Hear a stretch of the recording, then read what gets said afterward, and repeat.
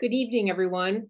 We begin by acknowledging that the Weisman Art Museum is located on the traditional and contemporary land of the Dakota people.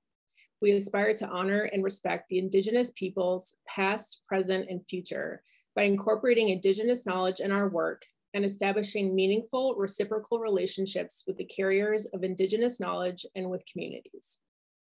I'm Katie Covey Spanier, the Director of Programming and Student Engagement at the Weisman Art Museum. Tonight's feature Tonight's program features multidisciplinary artist and community organizer Seitu Jones in conversation with award-winning poet, McKnight Presidential Fellow, and Associate Professor of Creative Writing and English at the University of Minnesota Twin Cities, Douglas Kearney. The two are brought into conversation on the occasion of Seitu's newest commission from the University of Minnesota's Public Art Program, administered by Weisman Public Art Curator Craig Amundson. This site-specific work will be installed in July at Pillsbury Hall, home of the English Department Creative Writing Program and the Liberal Arts Engagement Hub at the University of Minnesota. Seitu's work joins the collection of more than three dozen public artworks installed throughout the University of Minnesota campus. The public art collection aims to build a sense of community and give public spaces meaningful identity, inspiring observers to think about their world differently. To learn more about the Weisman's public art program, visit wam.umn.edu. As we begin the program, I would like to thank the voters of Minnesota for supporting the operational budget of our museum through funds from the Minnesota State Arts Board. And thank you to Wells Fargo Foundation Minnesota also for supporting our operational budget. I'm grateful to my colleagues at the Weisman Art Museum for helping to make this event happen this evening. Throughout our conversation, we invite you to submit your questions and thoughts to the Q&A feature at the bottom of your Zoom screen. We'll respond to your question in the Q&A period after the conversation. You can upvote the questions you're interested in by clicking the like button, and the questions with more votes will rise to the top of the queue. We will be recording tonight's event and it will be posted to the Weisman's YouTube channel. To ensure the event remains accessible to all, we're incorporating live captioning and ASL video interpreters so all may participate. During a screen share, the ASL video is, if it's too small or too large, you can drag the vertical divider left or right to increase or decrease the size of the shared content in the video feeds. Live captioning is an option you can select to have visible. To turn on live captioning, select Sho Subtitles in the drop-down menu under the Live Transcription tab at the bottom of the Zoom screen. And now I'm pleased to introduce our artists this evening, Douglas Kearney and Seitu Jones. Douglas Kearney has published seven books, including Show, Wave Books 2021, which Ken Chen of NPR writes, Kearney's prosody is miraculous. The award-winning poet poetry collection, Buck Studies, of Fence Books 2016, Libretti, Someone Took They Tongues, Subito 2016, and Criticism, Mess and Mess and Noemi Press 2015. Wire magazine calls Fodder, a live album featuring Kearney and frequent collaborator Val Inc. brilliant and Whiting Writers and Foundation for Contemporary Arts, Cy Twombly awardee with residencies and fellowships from Cave Canem, the Rauschenberg Foundation, and others. Kearney is a McKnight Presidential Fellow and Associate Professor, Professor of Creative Writing and English at the University of Minnesota Twin Cities. Born in Brooklyn, raised in Altadena, California, he lives in St. Paul with his family. And Seitu Ken Jones, a multidisciplinary artist, advocate, and maker based in St. Paul, Minnesota. Working between the arts and public spheres, Jones channels the spirit of radical social movements into experiences that foster critical conversations and nurture more just and vibrant communities from the soil up. He is recognized as a dynamic collaborator and a creative force for civic engagement. And now I'd like to welcome Seitu and Douglas to the screen.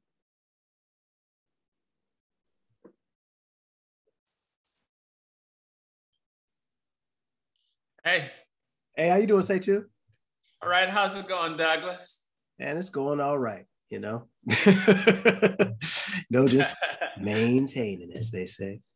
you know, uh, earlier, right before this thing began, first I want to big, give a big shout out to all the folks who are out there, and uh, and I was asking Katie you know, she asked me if I, I had any questions about this. And the big question is like, why on a nice night like this would you all want to be inside listening to this stuff? it puts an inordinate so, amount of pressure on us, doesn't it, Stacey? Eh, no joke, no joke. Yeah, we really have to, yeah, really have to entertain. Huh? That's right. That's right. Yeah. Yeah. Well, then you know perhaps on the on the subject of entertainment this this is actually the first question i want to ask you what are you listening to these days? Oh man i am listening to a little bit of everybody. I'm actually been going back in time mm. and uh, listening to some old hugh masekela i just downloaded a, a, bunch of hugh masekela stuff.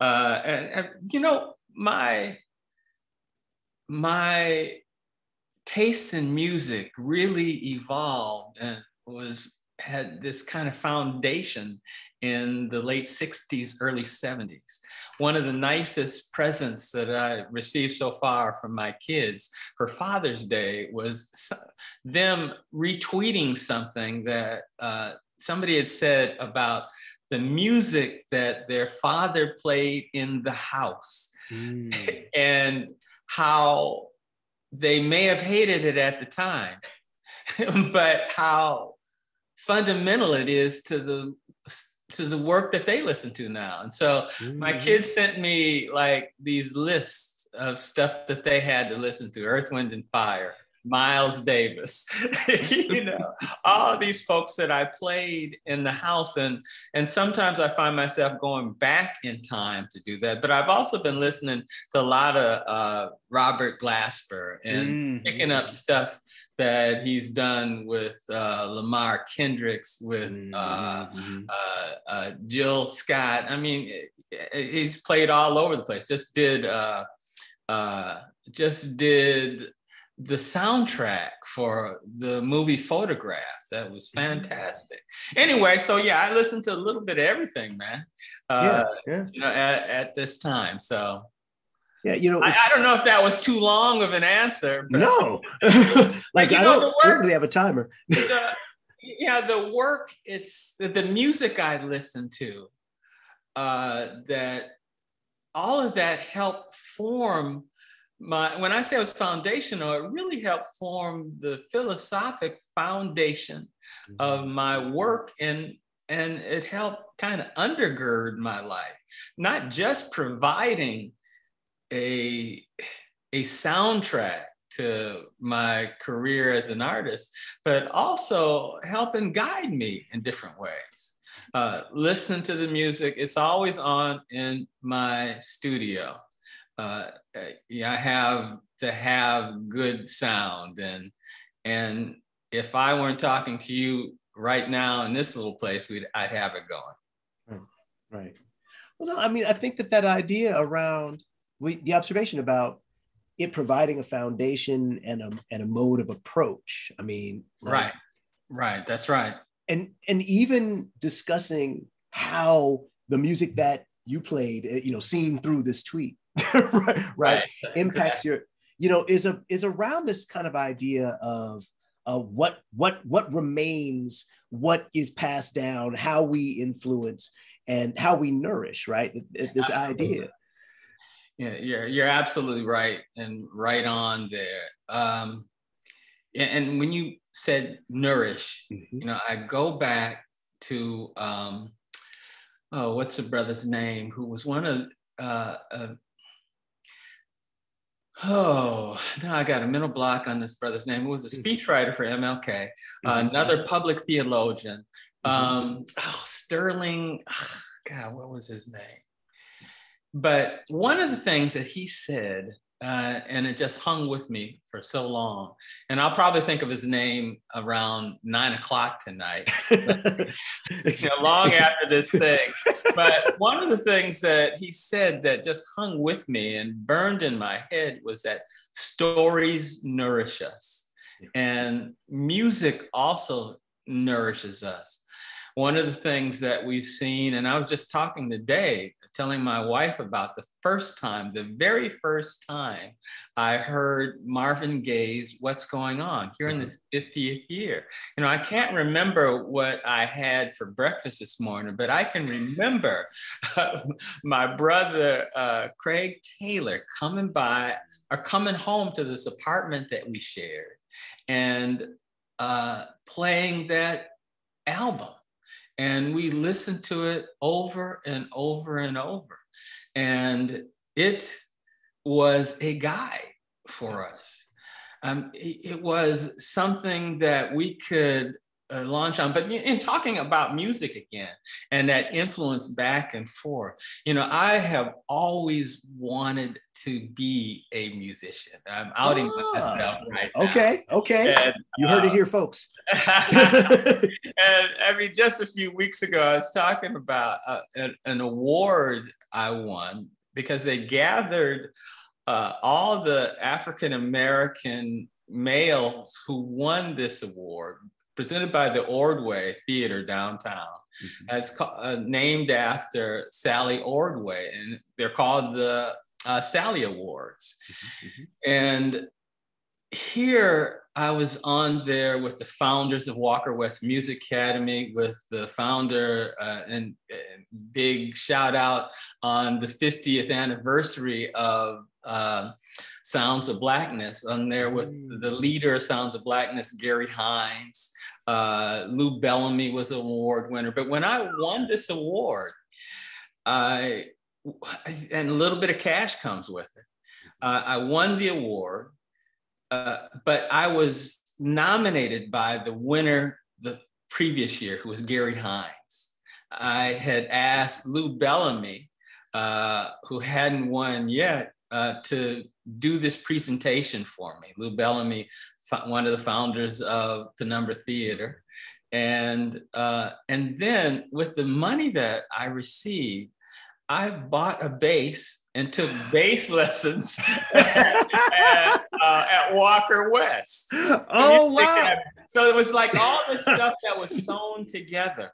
But saying all that to say is that there are many interdisciplinary artists that function in this sphere of the of this African or actually this Afro-Atlantic tradition.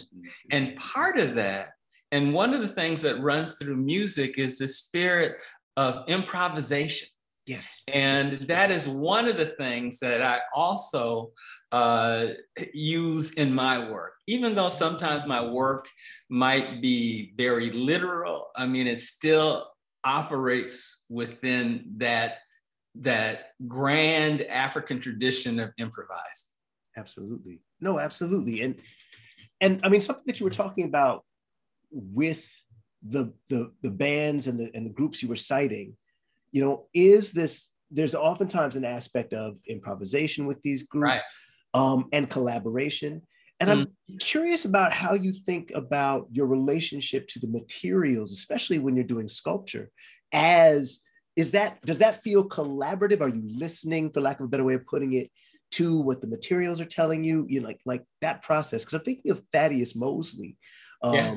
the sculptor out of pittsburgh and that's something that you know he kind of talks about when he's working with the wood that there is that it makes certain things possible and at mm-hmm. that level you know you're you're collaborating more than what well, you could be collaborating more than acting upon right and right. so i wonder how it's does that resonate Oh yes, yes. I mean that, that rings a big bell with me. Oh, yeah.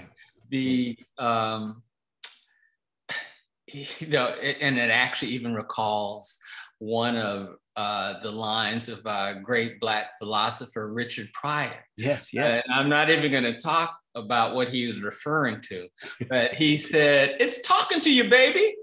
and so the uh, and so the material itself would will talk to me. I'm working right now as we speak on a wood sculpture. Mm. And I have to find my way with it. I have to look at it, feel it for a while, and it's going to tell you like which way it's going to go. Uh, and and you can't fight it. I mean, it's like in the way that we have approached art and science and almost everything else in the Western world is by control and domination. And among indigenous cultures, whether here uh, in the in what we call, now call North America, or in Africa or South America, you know, folks realize that we can't control or dominate the land, but we can work with it and manage it mm-hmm. uh, to a particular point. And that's what I try and build even into the work I do. You know, even jumping ahead, the going into Pillsbury Hall during construction, or actually during demolition yeah. uh, last year, it, the building was talking to me. it's talking to you, baby. Mm-hmm. And one of the things it said was to use the materials that are there. And so during demolition, they removed a number of joists, these large, really, you know, now when we say I'm going to get a two by four, it's not really two inches by four inches. but when the building was built in the 1890s on the University of Minnesota's campus, it was actually that full width two by. Mm. And some of them were two by 12s and two by 14s. This old lumber. And this old lumber uh, that was in the building that they were removing, just sitting in piles. And so it was talking to me. So we ended up repurposing that lumber for the sculptures that are going to be back inside the building. So uh, the wood, and another little side about that wood, that wood is probably old growth timber. Mm. You know, that was near the end, and when that building was built, it was near the end of the decimation of the white pine forest that covered where we are right now. Uh, you know, this the land that we were on was uh, occupied by the Dakota and their ancestors, but it was that oak savanna that we describe and the, that white pine lumber.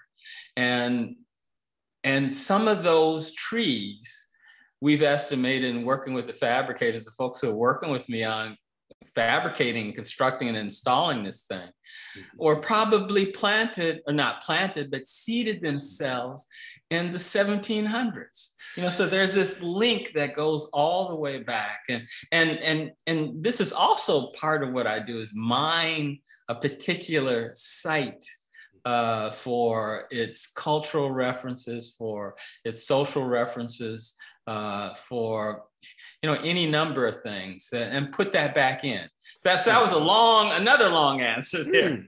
No, yeah, that's what people uh, are here to hear you.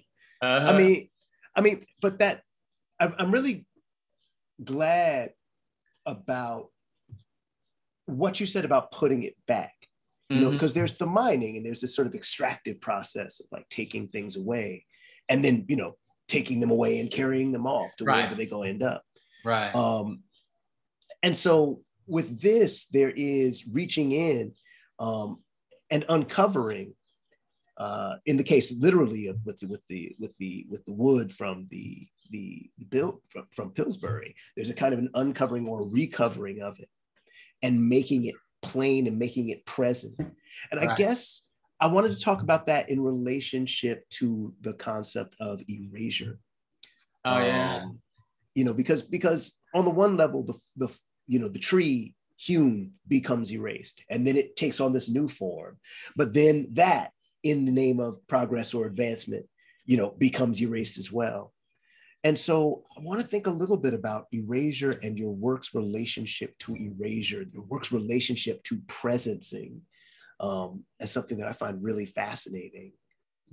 Yeah, no, thanks for that, that question. You, you know, uh, and I'm going to answer this maybe a couple different ways and maybe not directly. Mm-hmm. Right now, as we speak, you know, uh, you visited my studio space, which is about a mile away from where I am seated right now. Right now, we are in uh, my little office slash, uh, I should say temporary, my little temporary office slash archive. Uh, mm-hmm. so what you see behind me in the flat files and the uh, sculpture, the furniture, the stuff on the wall there, all of that is uh, work that I've created uh, over decades. And I have been focused and, and actually I'm plotting and planning the next season of my life. Mm-hmm, and what that means. And so a lot of that is thinking about my legacy and what I'm going to leave behind personally and and and so i want to control that legacy. And for a number of reasons. You mentioned erasure. Mm-hmm. i am here uh, on selby and dale in st paul and the old rondo community and what we used to call even selby uh, selby dale area and right on the corner, Selby and Victoria was an, a cultural institution founded in the uh, uh, late 60s, early 70s called Inner City Youth League. Mm-hmm. And it really helped shape me. It was one of these things, one of these many institutions that came out of this Black cultural revolution. It was part of the Black arts movement. I mean, we didn't know what to call it then. I mean, didn't even have a name for it at that time. Although there were folks that were calling it uh, the Black Arts Movement at that time. Uh, we were just swept up in this rich mix of politics, culture, music. Again, was all a part of that. But and, and while I have this academic training behind me, I learned more at Inner City Youth League from listening to listening to artists argue about the role of African American artists from a variety of perspectives. And many of those artists, many of my peers, many of the folks that came before me, I can mention, but folks won't recognize their names. Mm-hmm. Uh, and I have been really concerned about their legacy and how do we remember and acknowledge those folks that came before? Unfortunately, while they haven't been erased from my mind, they have been erased from our collective memory. And so, how can we establish a process, a template, a system that will acknowledge other African American artists, my peers who are still around, uh, or, or and or the folks who are following us. Hmm. You know, we don't like to think about what's going to happen to us after we go. But we need to begin to plot and plan that. We need to do estate planning, wills, and even getting to the point where we compile our work and start to catalog our work. So I'm working with a team of, of African American archivists and historians that are helping me decide what to keep, what not to keep, and where all that stuff is going to go. Right. You know, so like I am really trying to think about that legacy. Now, kind of back to the question that you asked about the piece. And pieces, it was really the artwork itself that once again was talking to me and saying, you know, you've created this work on these streetscapes all over. Uh, but how will folks know who did it? and, and, more importantly to me, and what that's my vanity speaking, you right, know, right, I want right, to be remembered, mm-hmm. but more importantly is to why he did that, who he worked with, uh, and why, and, and we need to credit all those folks. How do we do that? You know, so even with this work in Pillsbury Hall, bringing this all back to Pillsbury Hall, you know, we mind the legacy and the history of that building that was built as a science building, primarily for the um, the earth sciences. For it was the home of geology and I mean, when I was on campus there 50 years ago, that's what was happening there in that building. But, you know, I had also gotten a few cues from the University of Minnesota's archivist, and he had discovered, we asked him to do some digging in on the building itself. One of the things I was concerned about was uh, racial science and how that was taught. I mean, the whole philosophy where folks used pseudoscientific methods to measure the inferiority of people of color, with Black folks at the bottom. yeah. Uh, you know, uh, and that was something that was taught on campus. And I was concerned was taught there, but we couldn't find any history that some of the folks, some of the biggest, some of the biggest advocates of that science uh, taught there. They did teach at the university. That is a fact. That's a whole other story. but uh, but that was one of the things that uh, uh, that I was concerned about. Another thing uh, in bringing out the legacy of that building, uh, we found out. I mean, with the work that I wanted to do with wood there, we found out that uh, through the archivist that Pillsbury Hall was also the home of the University of Minnesota's woodshop. Huh. it was located there. you know, so all of that was happening there. You know, and then on the on the horrible, uh, almost unthinkable side, uh, what there was a small museum there on campus, and one of the folks that was a part of the uh, that witnessed the execution of 38 Dakota men in Mankato had donated part of the scaffolding to uh, the University of Minnesota to view. Now, we couldn't find any evidence that it was actually viewed and what the university did with it.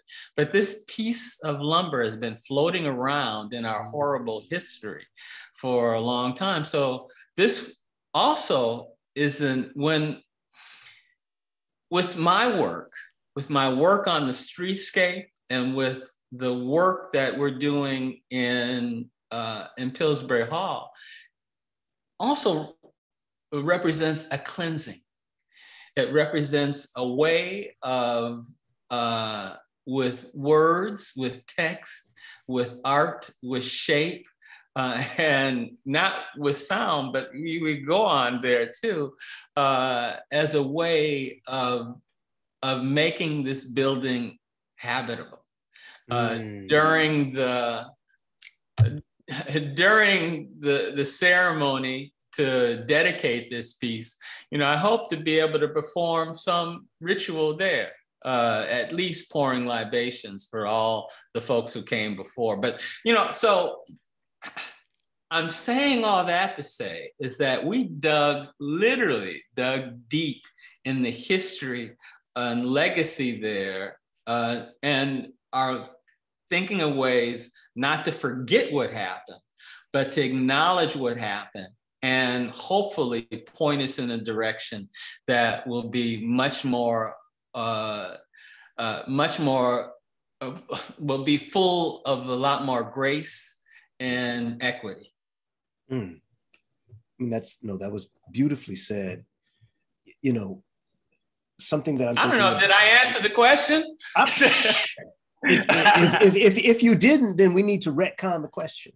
you know, I mean, but but this but this but this brings me to something that I've, that, that I've been thinking about, which is the the sculptural object, you know, three dimensional object in a space, um, as a presence in some way, you know, directly affects and impacts the movement of people right. through the space. And there are some right. um you know depending upon uh you know a person's attitude towards the object they might think of it as an interruption or someone else might think about it as um you know a kind of uh, for lack of a better word of putting it a kind of a resonant site mm-hmm. um, you know, I'm thinking about the language of the, uh, you know, psychogeography, we call it ambiance, right? A specific right. sort of ambiance. Um, and I guess my question for you is in this project and in other projects, especially in spaces that, as you've talked about, um, which are you know U.S. American and therefore contested. yeah, yeah, right, right, because there's not a site you could find here mm-hmm. um, in 2000, you know, 21 that that doesn't have, you know, s- that isn't contested. That's right.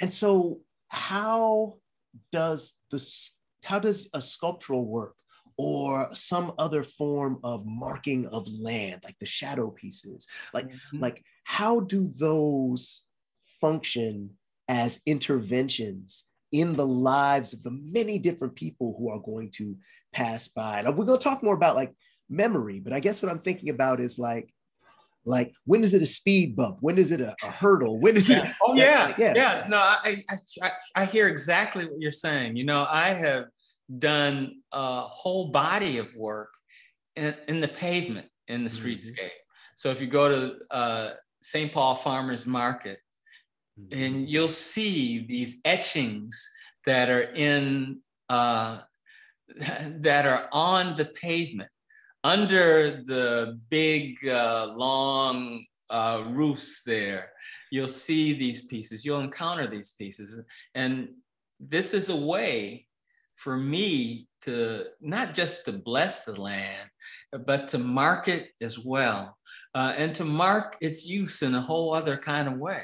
And so, uh, one of the things that I've done, I mean, that speed bump that you describe, is wanting to create these pieces that are subtle, that are embedded in the pavement in a way that you may walk over them every day and may notice a little bit more, may see text. And here's a good point uh, where I need to bring up my constant collaborator, uh, especially over the last few years. Soyini Guyton, uh, who is a poet and my wife, her work, and we laugh about this, has been published more in the streetscape than anywhere else. Uh, so she has her own guide that you need to follow. Uh, and so we've collaborated on a number of pieces, creating text that uh, is running on and on. And I've worked with other poets as well too,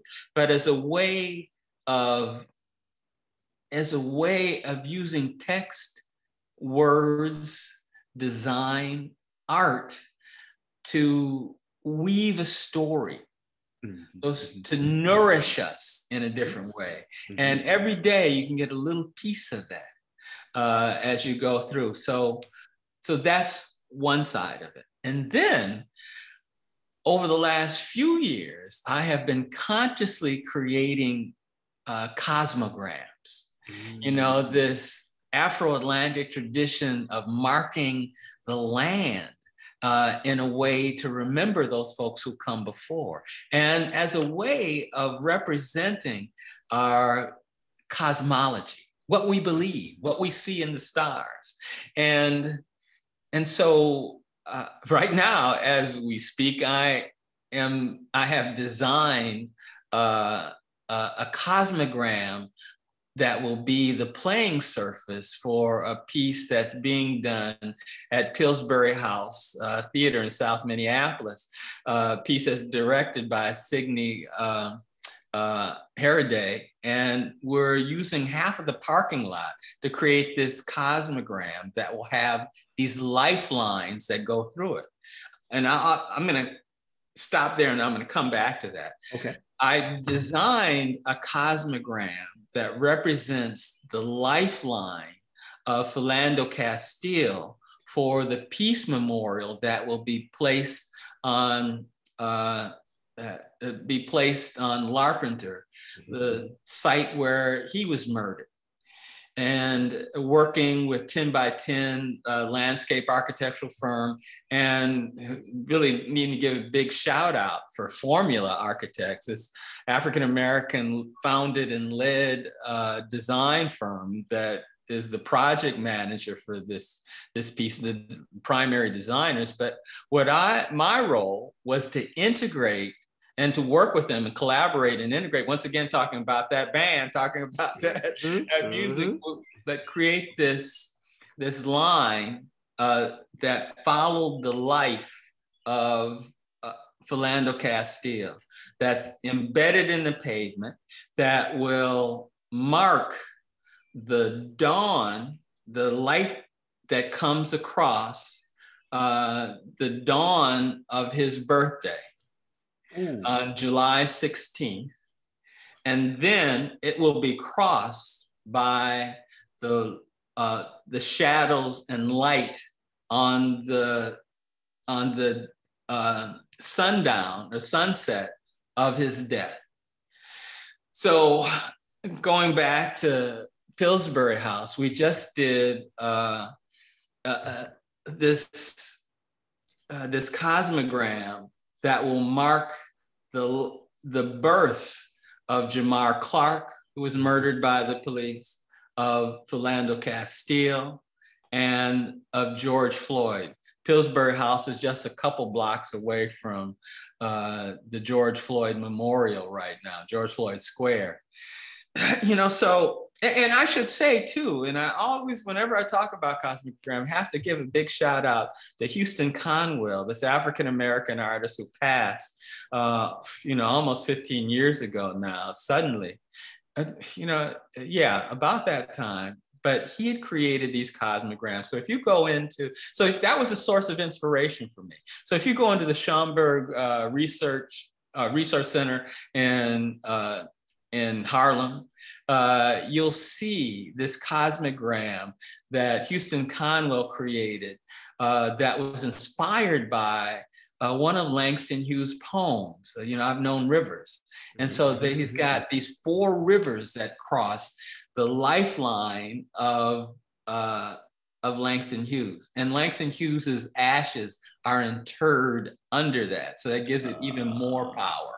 So all of that to say, you know, these things that are written in the ground, that are on the ground, using light as some kind of way. And I should come back to that too, uh, because this collaboration uh, with Soyini uh, and with Ta-coumba Aiken, who I need to give a big shout out to, has been uh, one of my dearest friends uh, and one of my constant collaborators uh, for the last uh, almost 50 years. Uh, but we've collaborated on this thing that we call shadow spirits. And we have traced the shadows of folks on these particular days of the year, these particular days that have uh, some uh, some relationship to the natural movements of the earth. So mm-hmm. on the summer solstice, on the winter solstice, on the um, on the spring equinox and fall equinox, we have traced shadows of folks at different times. And those shadows have ended up in the pavements of Nicollet Mall and most recently in um, most recently in Walker Art Center, mm. inscribed with the poems created by Soyini Guyton, letting folks know who was here before. Uh, and so at some point, you're able to stand in the shadows of all these mm. folks who came before. And I say at some point, at these particular points in time, uh, at, throughout our celestial uh, year. Mm. So that was more than you asked for. you are generous.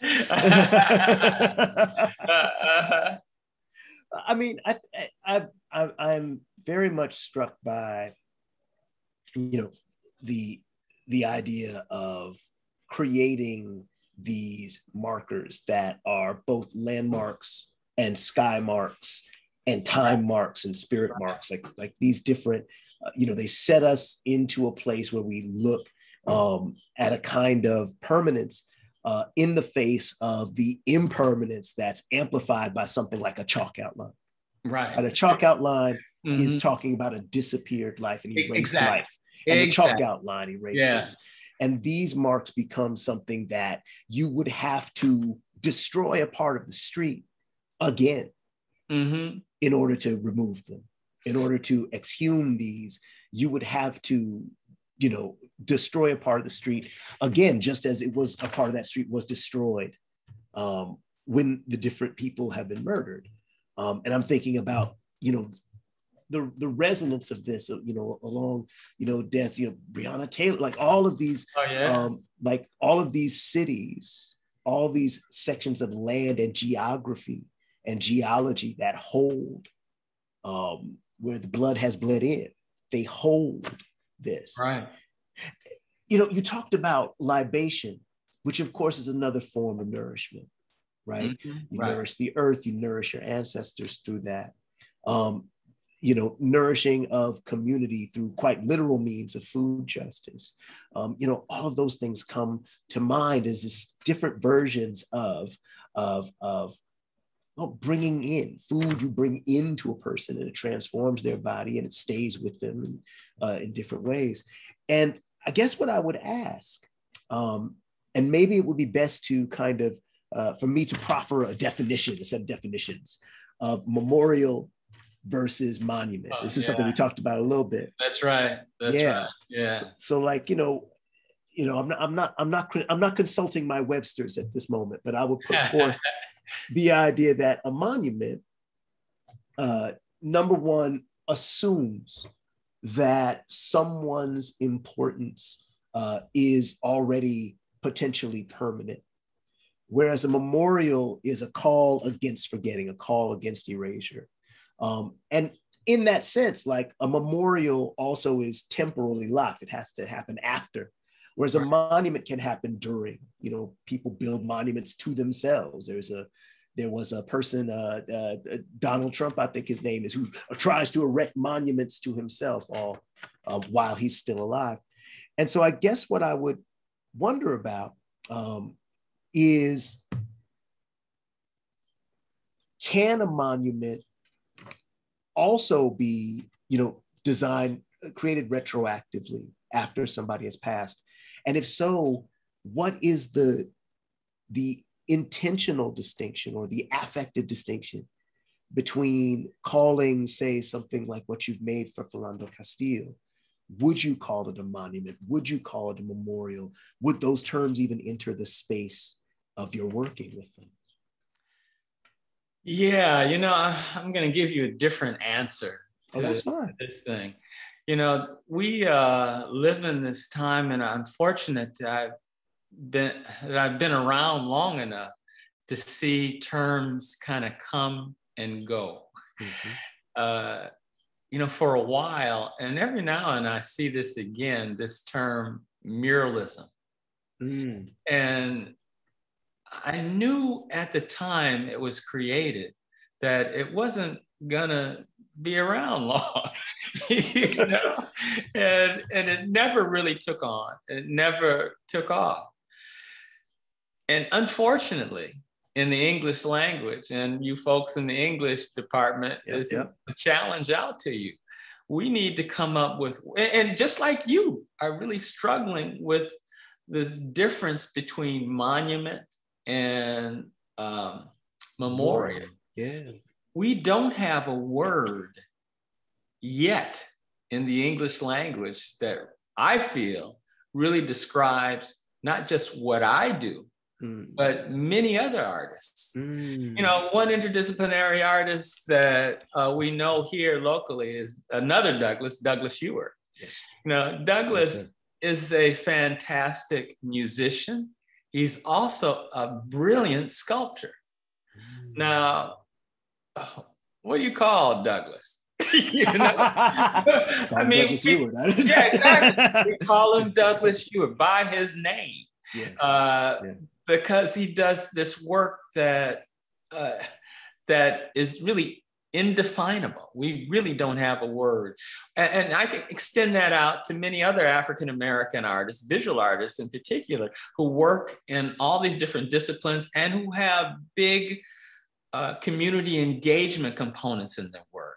You know, shout out to Theaster Gates in Chicago, shout out to Rick Lowe in Houston, you know, and on and on and on. Uh, there are these artists that mix uh, community with their work and uh, and I've heard Rick Lowe describe it, use a term that really came from Joseph Beuys, uh, calling it social sculpture. You know, so we mm. grab like little bits and pieces from uh, this rich context that we live in to come up with this stuff. And so, like the, you know, here another term. Uh, I worked for a while for uh, Walker Art Center in the education department, and there I helped start the community programs uh, program there. And Addition start helped start the teen program there. And that was at the height of museums exploring multiculturalism. and, uh, and Ex- exploring being a, a, useful term. And, and even the Weisman, you know, was exploring multiculturalism. And we and that's one of those terms that we no longer use. and it came and it went.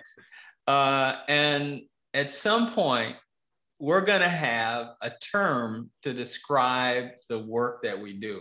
Right now, you know, among musicians, I mean, folks that come from the tradition that Douglas Ewart uh, comes from don't necessarily call what the mu- the music they play jazz. Right, right. no, right, it right, is like this rich from this rich black tradition. Even Miles Davis at a particular point stopped calling it jazz, and mm-hmm. because it is is so much more than that. And, uh, and I mean that's a whole other discussion, uh, but it's. Uh, it's people going back to what I was saying before about wanting to control my legacy, mm-hmm. wanting to mm-hmm. control mm-hmm. what comes after me. It means also naming yeah. and yeah. saying, this is what this stuff is. Mm-hmm. And so to kind of answer your question, you know, I don't see a distinction for it. I mean, it's just like uh, arguments that, I, you know, uh, the university scholar uh, who just retired not too long ago, my dear friend John Wright, right. you know, who was the primary uh, scholar uh, around the Black arts movement, sometimes has trouble even dating the time and place of it. Mm-hmm. You know, mm-hmm. I'm like mm-hmm. one of those soldiers that was like way off and in the jungle and fighting and and then uh, somebody comes out and say, "Hey, it's over. over." I said, "What? I, I, didn't know. So I, I, didn't know that the Black Arts Movement ended. You know? I think isn't it still happening now? like, like we weren't done, right? We didn't. Yeah, finish. right. Exactly. Exactly exactly. Wait a minute. The revolution still hasn't happened yet. No, no, it's all fixed now. You know. yeah, exactly. Exactly. So it's all mixed up and and all of that. Uh, you know, that kind of trying to make that distinction between mm-hmm. monument and memorial. The work that Ta-coumba and I have done with shadow spirits and with Soyini uh, is something that Ta-coumba is on a mission to take all over the world. As you mentioned, Breonna Taylor, and to do it in a way that it doesn't disappear like chalk in the rain. Yeah. Yeah. Mm. Absolutely. Ooh, okay. I mean, So so we have the person emerging from the jungle. the soldier, the soldier. Um, and that's and and one of the things that I think that's that's interesting about that in the context of the discussion we're having is that tension between uh, recognizing where you are now, navigating the present moment, oh, which, you know, the landmark helps you do. The landmark helps you. Oh, okay, this is where I am. But then thinking ahead to the impermanence and thinking about how will you be able to put create a name in the same way that you would create a piece but now this name actually has to encompass the piece so that we come in, whoever's coming after can look and go, oh, that's what that was, and understand it in something of the context uh, that that you intended, or at least you know built it within. And and I think about the term social sculpture, and I think about that as behaving in a way that I find different different than public art the social sculpture to me feels like this thing that we fix ourselves around. It's a part of the conversation. Um, it, it and in fact, it's in some ways magnetic um, as opposed to ornamental right mm-hmm. right because because if we think about social and we take that the step forward to a sociality right what are the socialities that are created that necessitate this sculpture here right? That necessitate a half mile long table. What is what, what does that uh, what does it allow to be charged within it? I'm thinking about something that Arthur Jafa uh, said when he was describing the use of uh, of African of, of, particularly Western Northern African sculpture when he was uh, you know writing his piece uh, My Black Death, um, mm-hmm. and he was critiquing the work of people like Picasso, right? And and how the sculptural object was not intended in the cultural context that he was referencing. Absolutely. To be viewed from one direction. It wasn't meant to be just rendered flat. And right. so, and so that sense again of of multiple dimensions. I'm trying to land this here, like multiple dimensions of, of breadth, depth, and width, but also being able to turn it and rotate it in your hands. Right. And so now I'm thinking about the archive as a material manifestation of work, of time. And I'm thinking about its placement, I'm thinking about it needing a language, I'm thinking about it needing its own design. And I guess if there is a question embedded in this some kind of way, I'm curious about how language for you is a tool um, or a collaborator or an instrument. Let's say instrument. The language is an instrument for you in imagining how the past is preserved, how a legacy is preserved. How does language create a space for an intervention um, in that process as you work with collaborators or you work in your own speaking? Just is that an interesting question at all? Oh God, yeah, yeah, yeah. You know, and, and brother, you've asked some hard questions too, and, that's allowed. That's allowed. I mean, this is a space where we can do that. I'm so glad that I, I, need to give a big shout out to the Weisman for having you uh, do this interview because this is like this is like music as well.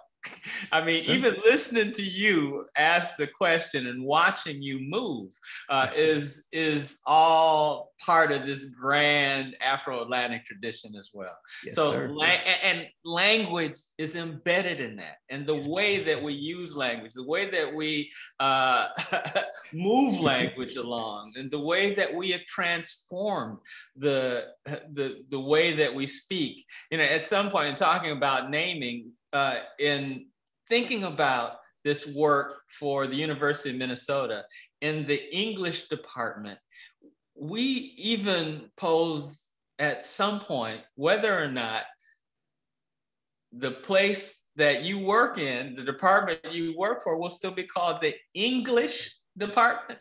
I mean, how will it be? I mean, so thinking ahead and yeah. thinking about transform powers of transformation.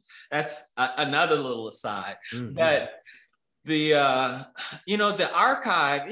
I, I should have also said that in talking about my legacy, I have witnessed the death of so many of my peers who have passed on without leaving instructions behind mm-hmm. over and over and over again. And their legacies, their work is scattered to the wind, sometimes deposited in dumpsters.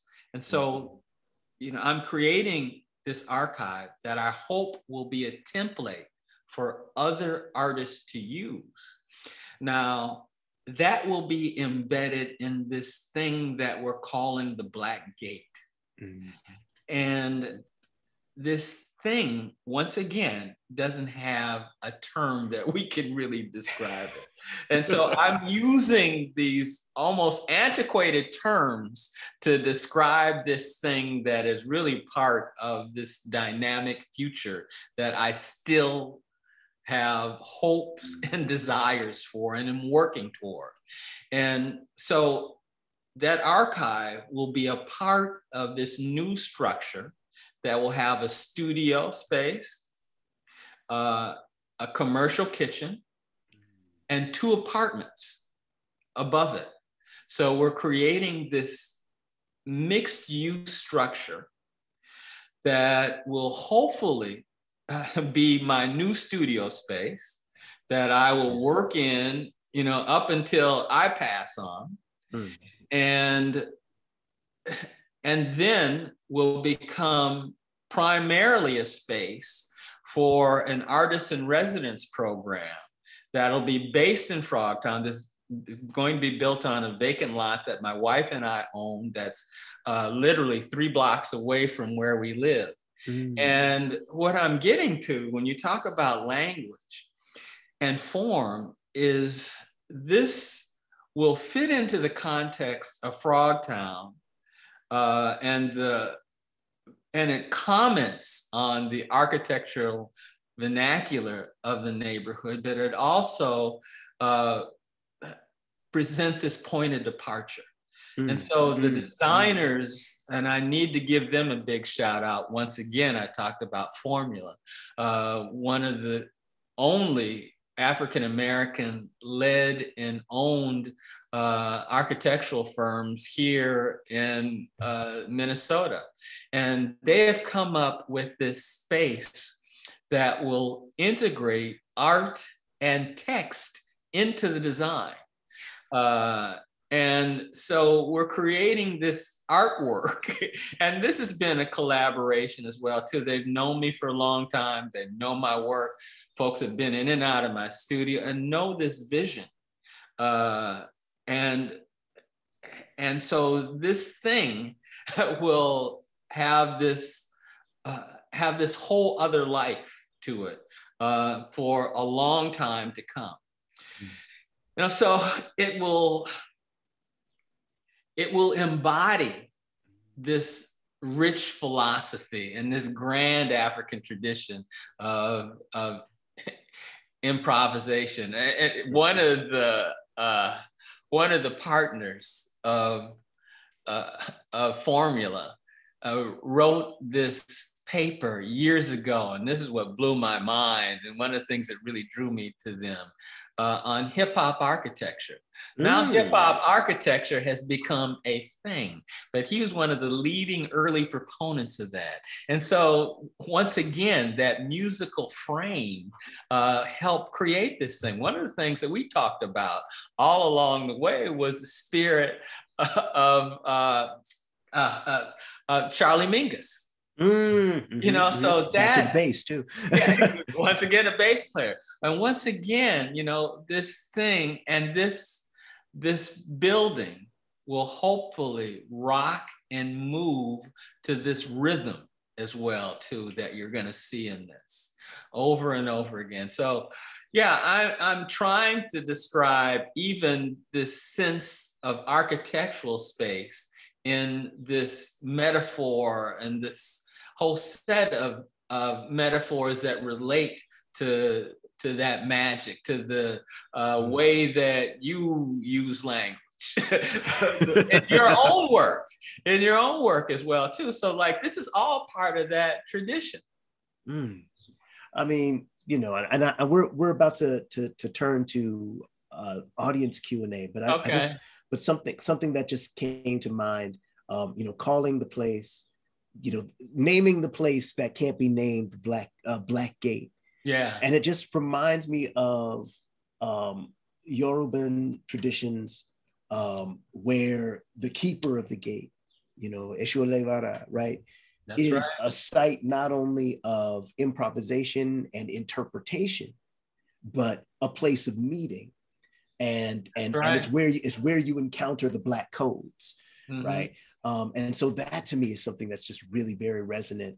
Um, you know, I could I, I, I feel I feel greedy right now because I'm like looking down at the Q and A. I'm like, man, I asked these questions, but I bet these questions are going to be absolutely powerfully rich. Um, ah, um, we we we have we have one uh, statement. Was it Sterling Brown, speechwriter, you were thinking about? You know, I see that question, and that comes from our dear old friend uh, Herman Milligan, who is one of our grand art patrons here in the city. Uh, but I don't think it's Sterling Brown. Sterling Brown was a poet, and uh, mm-hmm. and I, I still can't remember the brother's name. Uh, yeah. But we'll talk about that, Herman. Give me a shout out. Excellent, excellent, excellent, excellent. Um, and so you know we have some other questions uh, okay. that I that I'll go that I'll go to. Um,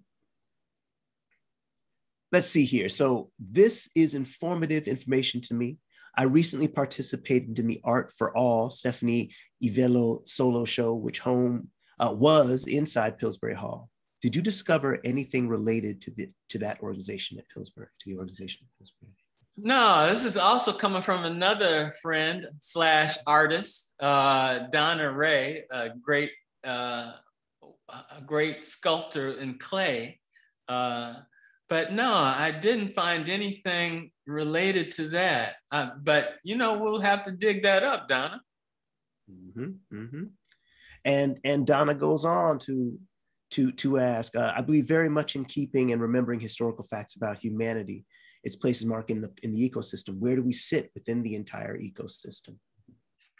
Yeah, you know, one of the things that I haven't talked about is uh, the role that ecological humility plays. I, I did mention that. Uh, and when I talked about how indigenous folks have not tried to master or to conquer uh, or to dominate the natural order of things, but have worked with it and have uh, sometimes attempt to manage it, but that's all part of this ecological humility too. We can't we can't control, we can't take over. And all of that leads to the all the extractive methods of of of mining resources from the uh, uh from the environment that and having no kind of of relationship and thinking about our children and our grandchildren. So, I mean, that's all part of the, and I, I see you're asking about humility, but it's all part of the way I approach my work in the environment. I really haven't talked about that in, in detail, but the role of humility. Mm-hmm. Uh, and and then Donna Ray, gives us an, gives us another couple of questions here that I think are very important. Absolutely. Um, as an African American disabled female artist, I believe it's important not to forget the ladies out here. Where do women fit in with their artistic disciplines? Who are some of the artists? You know, you know, you know. You've talked about, uh, you know, your partner Soyini. Um, right. Who are some of the other uh, women, not only who may or may not have influenced you or worked with you, but are doing work that that we could take this moment and this access to our privilege to amplify no absolutely i'm, I'm glad you brought that up donna you know like and uh, and challenge me. You know, that is I, need to even sometimes correct myself, and my wife will correct me uh, many times as well. And I did mention my wife and the role that she has played as one of my most important collaborators.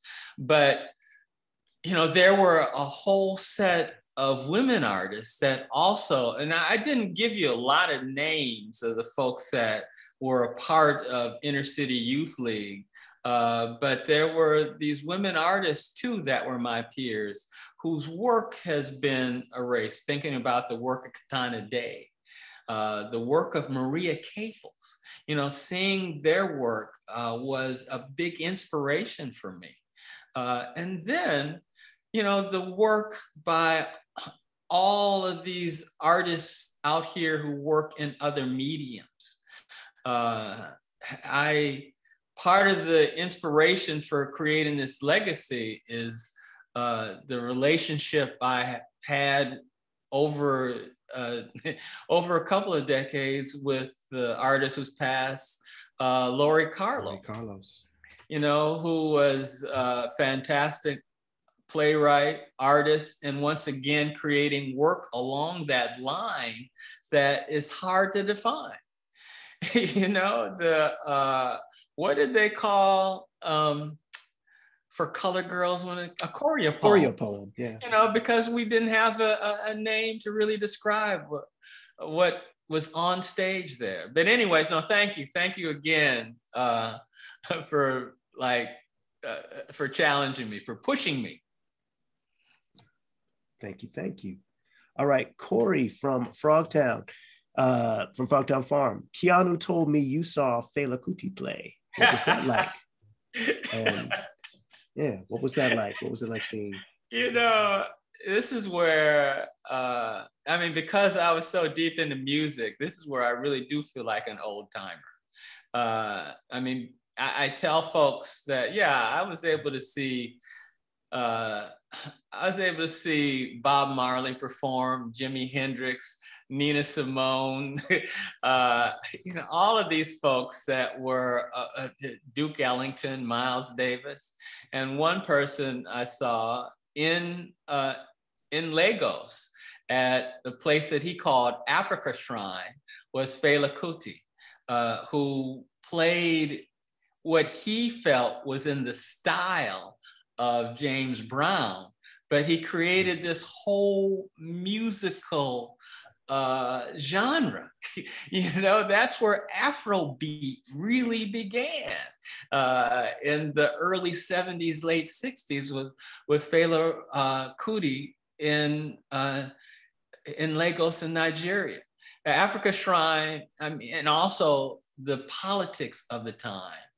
You know, Afrika Shrine was, uh, he, he declared independence from Lagos, independence from Nigeria in creating this new country that was based on equality. Now, there are these stories, sometimes horror stories of what happened in, uh, in Afrika Shrine. But yeah, I did see Fela Kuti perform. Saw him perform actually with Ginger Baker, a member of the Cream, uh, white rock musician who uh, also spent a lot of time in Lagos. You know, so I could sit and tell you like these old timer stories too. But yeah, it was inspiring and another one of those things that helped uh, me develop. Excellent, and thank you for the kind words as well, Corey. I want to I want to presence what Makeda Zulu Makeda is saying. Uh, no question, just love for the elders, artists, leaders making change and acknowledging the past, giving life in the present, leaving a legacy and making our ancestors proud. Uh, and I am, I I can't tell you, it almost now it moves me to tears to hear that from Makeda, who I saw grow up. Uh, her parents are these fantastic artists who enshrined almost in a very formal way Black storytelling. They were the leading proponents and organizers of that, uh, of this whole movement for Black storytellers, holding an annual event. Uh, I mean, one of the best parts of their events was the the liars contest you know uh, also in this grand african tradition uh, but her she talks about making our ancestors proud i can't tell you how proud we are of folks in the generation that followed us like Makeda have gone on to these leadership roles and i should say that Makeda is now the, I think, the director of the Urban Research Outreach Center in North Minneapolis, part of another part of our legacy. Mm-hmm.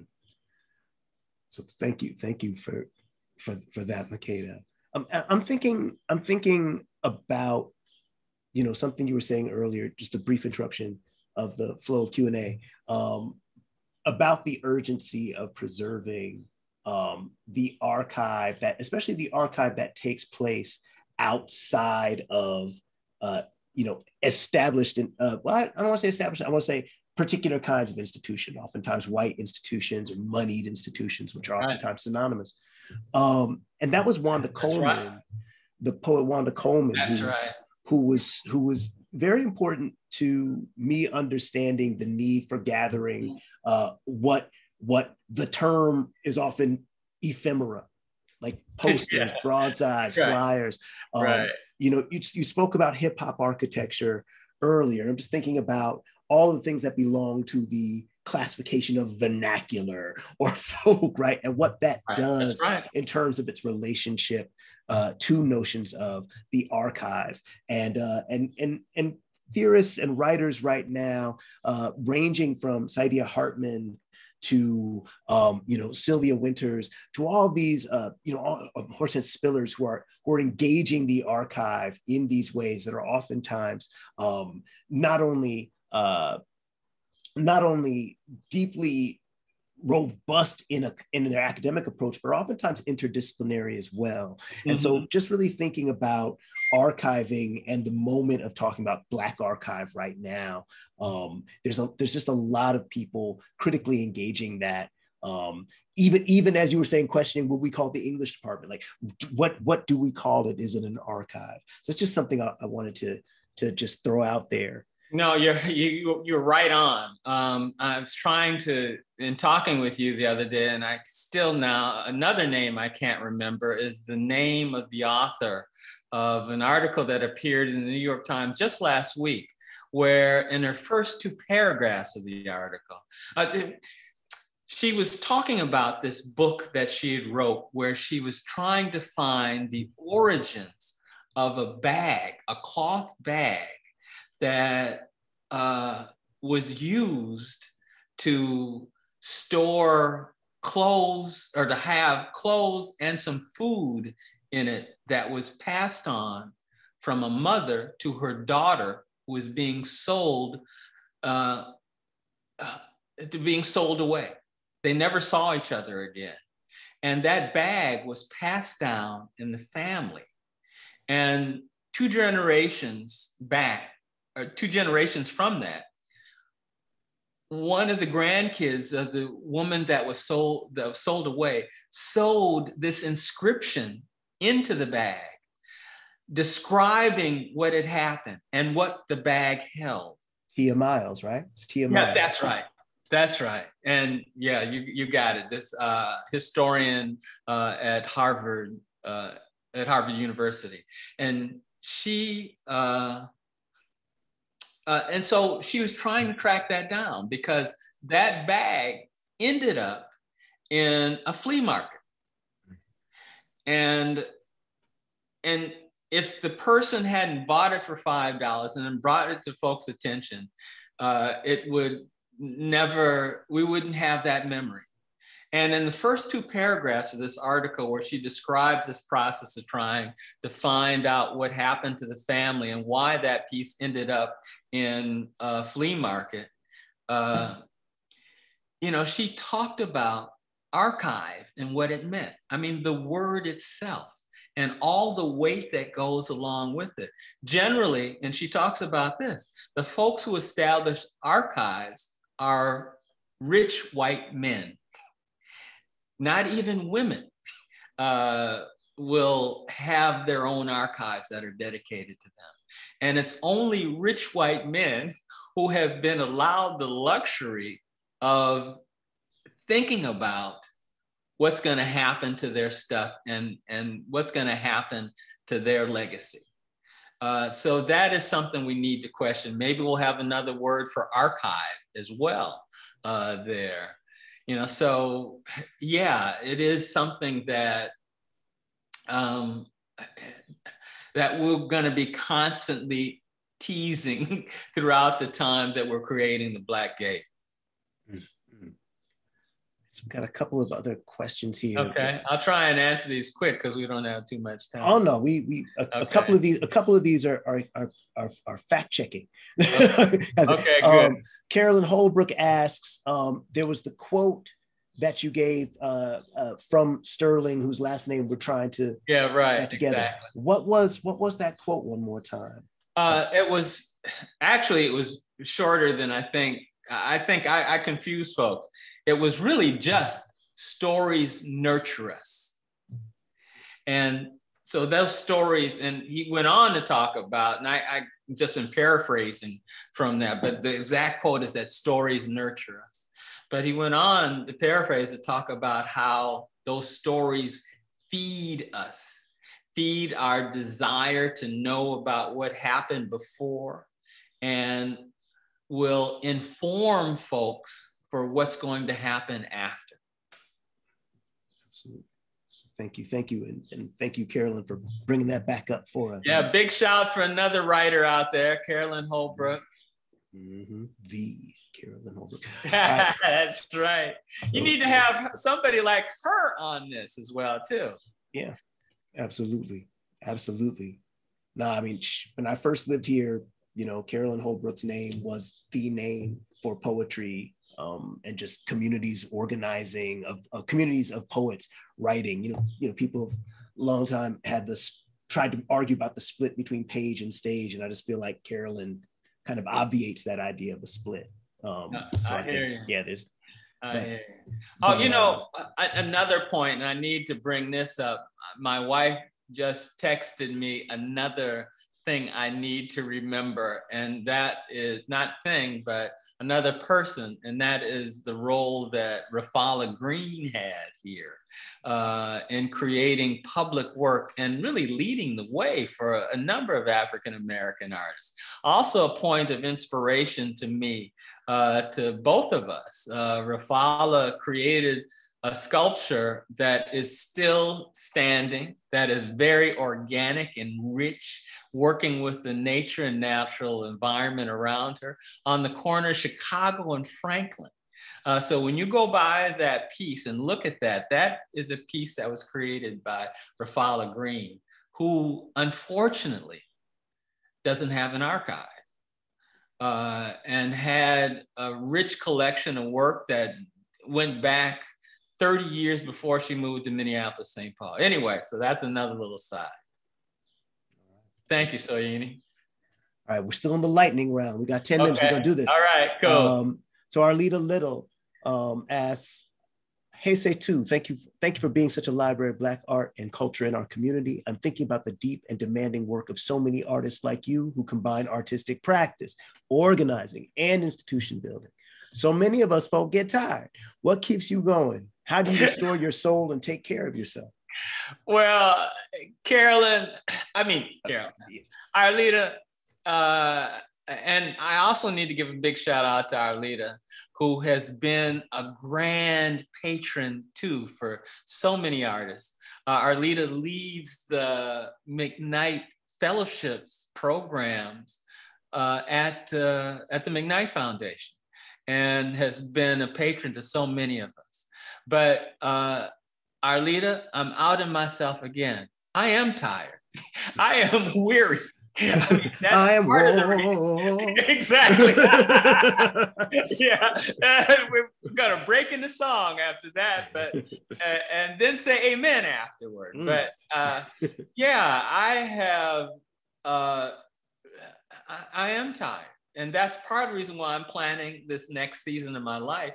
And consciously, very consciously, and with intention, and I didn't mention this at all, but a big part of my work is passing on information, knowledge, and culture to the artists that are coming behind me.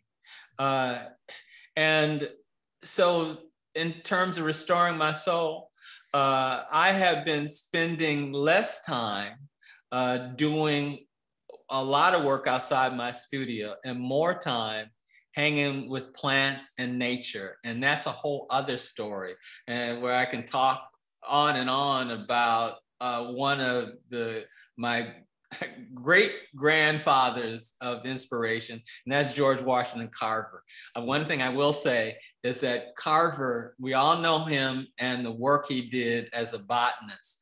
actually, one of our great the one of America's greatest botanists is George Washington Carver, but not many folks know that he was also a visual artist never stopped making art uh, along the whole time. So part of it is digging deeper into the role that uh, plants play in our environment. Hmm. Excellent, excellent, excellent. I'm going to throw another, throw another. Uh, oh, oh, we have spoken to the community, and the community has spoken back. Is it Sterling Tucker? You know, I it might be, but I gotta look that up. Yeah, you know, my poor mind. Uh, now I've confused the entire world out. no, no, no. This, this, this is this is this is, this so, is the community yeah. coming together. You're convening. Yeah, so I'm gonna really ask folks to do that digging. I mean, you might even want to just Google stories nourish us. Uh, this brother, oh God, he was interviewed by Krista Tippett on On Being years ago, and it was one of the interviews that I played over and over for a while. So those are all these clues that are out there. all right, all right, all right. Okay. Um, Hannah Joe King is asking. Well, first says this talk is amazing. Thank you so much. Thank you. I wanted to go back to what Seitu said about working with light and shadows. What have you learned from light, or what is light saying to you? In the same way as we talk about material. Oh yeah, yeah, yeah. I mean, it is one of these other things uh, that is very. You, you, mentioned the word ephemeral that comes and goes, uh, that can uh, point the way. And that's the way that Ta-coumba and I have always looked and talked about these shadows. And the text that Soyini has created also responds to that, is that it can point the way for us or point away from something. Mm. Uh, and uh, and so it is this magic and one of these things that indigenous folks consciously worked with. It was a way of keeping time. And this is a way of keeping time with the entire universe. Mm. Mm. Fantastic, fantastic. Well, we, we might be able to pull this off, folks. All right. Um, so we have tiny question from Lisa Hintz. I hope okay. I'm pronouncing your name, your, your last name correctly. What does Afro-Atlantic mean? Oh, yeah, that is part of this grand tradition of Black folks on both sides of the Atlantic, culture that came from Africa, uh, unfortunately, uh, by way of the slave trade and planted roots in South America, the Caribbean, and North America. So there are these Africanisms that appear, that jump out in us. There are these traditions in the culinary arts, uh, the visual arts, the music uh, as well, and language that we talked about, all these carryovers. And that is what I call the Afro Atlantic tradition. And really, I say I call it, but that was a term that I really first heard from um, uh, uh, uh, Robert F. Thompson, art historian at Yale, uh, who inspired a number of uh, African American artists in my generation. All right. Uh, from Christine Baumler. Uh, uh, Christine Baumler. Baumler. All right. Okay. Uh-huh. Thank you. This, that was me trying to trying to flex some German or something. Uh, thank you for this wonderful conversation. Seitu uh, conversation. Seitu you've had such an impact with Capital Region Watershed District as a long-term oh, member yeah. on the board of managers. You've had such an impact and legacy on how we think about water, our perception of water, and how the arts can be integrated into work with water in St. Paul and beyond. Your work has been so transformational in so many significant ways, some of which are not materially based. Just wanted to acknowledge that contribution as well. So uh, thank you, Christine. And Christine, uh, also somebody I needed to give a big shout out to.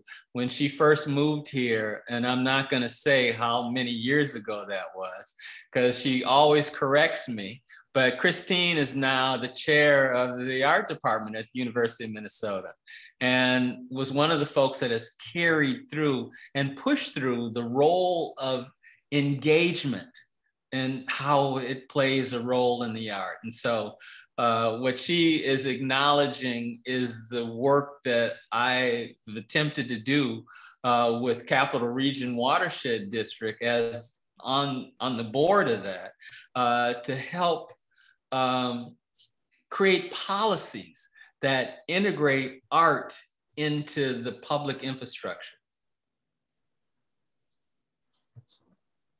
All right. Stephanie Allen, too, as you design and formulate your powerful legacy, are you including plans for how your archive and legacy can be amplified?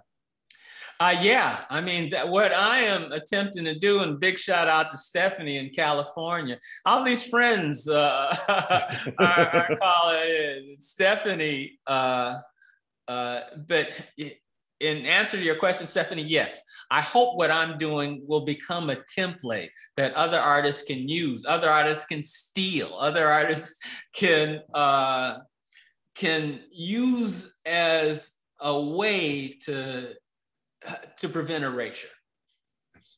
Absolutely. Thank you. Thank you. Herman Milligan asks if time permits, we got about a minute and a half, two minutes. Um, can can Seitu talk about the efforts he and Ta-coumba made to establish the first African American cultural center in Minneapolis in the 1970s? Yeah, damn, Herman. You now this is another one of these questions from Herman, who was around during that time period. Uh, but yeah, that's one that that we'll have to do a separate thing about uh, because that really helped form uh, and was that was Ta-coumba Ta-coumba Aiken and and my uh, organizational connection to the Black arts movement and so many other artists but yeah, Herman, we'll have to spend some more time talking about it. And actually, and I see Arlita posted something too, because this is a conversation that she's been wanting to have. Excellent. Excellent. Well, I'm, I'm scanning the rest of the Q and A, and I and I want to amplify the the the really wonderful things people have been saying. Uh, Sage Carroll, Sage oh. Carroll, another multidisciplinary that's right community nourishing artist mm-hmm. uh, she she says so good to hear the two of you talking this is the nourishment thank you thank you oh oh uh, Tom Borrup asks uh, this has been brilliant as another old timer so glad i stayed up for this right? with, with, with, a smile big shout out to tom big shout out to sage congratulations sage too sage just got her mfa from university of minnesota master of fine that's art. right that's right um, and I'm gonna just leave this question in the air because it's it's maybe it's a quick thing that you could feel like you could answer. Uh, but if not, I think I remember something you said and I'll throw it in there. But Cynthia Gehrig asks, uh, awesome. is gardening an art form for you? What role does it play for you? Two words. Hell yeah. and I'll add two words, mic drop. Thank you, Cynthia, another grand patron of mine. uh, well, I, I, want to I want to thank you all for these questions. Um, and for and for listening and, and for sticking around for the the the time you took to amplify certain things and to challenge um, and just to engage us. I also want to thank uh, the Weisman for for pairing me with you, Seitu. This has been a real a real pleasure, and I look forward to many more conversations, some of which might not be recorded. Hopefully not. right, right, right, right.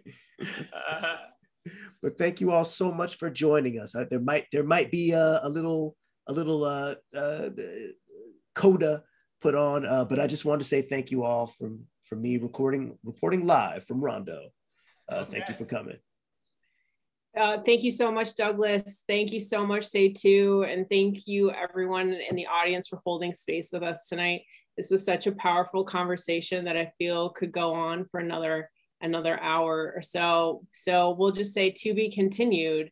Um, you all will get a survey and we would love it if you would fill it out and give us some feedback so we can continue hosting programs like this. Uh, thank you all so much. And until next time, take care. Thank you all.